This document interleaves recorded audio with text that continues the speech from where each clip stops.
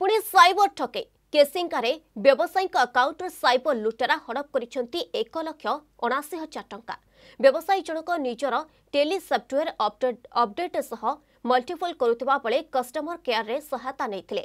ଏହି ସମୟରେ ପ୍ରଥମେ ଅନେଶତ ହଜାର କୋଡ଼ିଏ ହଜାର ଲେଖାଏଁ ଚାରିଥର ତାଙ୍କ ଆକାଉଣ୍ଟରୁ ହଡପ ହୋଇଥିଲା।